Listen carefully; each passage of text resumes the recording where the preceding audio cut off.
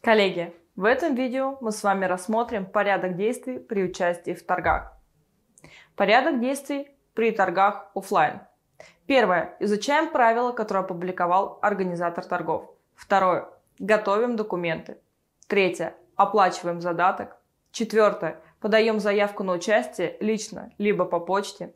Пятое. Получаем уведомление, протокол о признании участником торгов публикуется либо на сайте торгигов, либо приходит вам на электронную почту.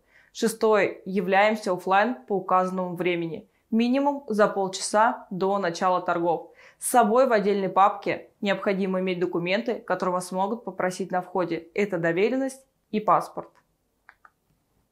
Порядок действий при онлайн-торгах. Первое. Регистрируемся на электронной торговой площадке, либо аккредитуемся. Второе. Изучаем правила, которые опубликовал организатор торгов. Третье. Готовим документы. Четвертое. Оплачиваем задаток. Пятое. Подаем заявку. И ценовое предложение, если форма подачи заявок в ценовое предложение закрыты. Шестое. Получаем уведомление. Протокол о признании участником торгов приходит либо на электронную, на электронную почту, либо публикуется на электронно-торговой площадке в личном кабинете.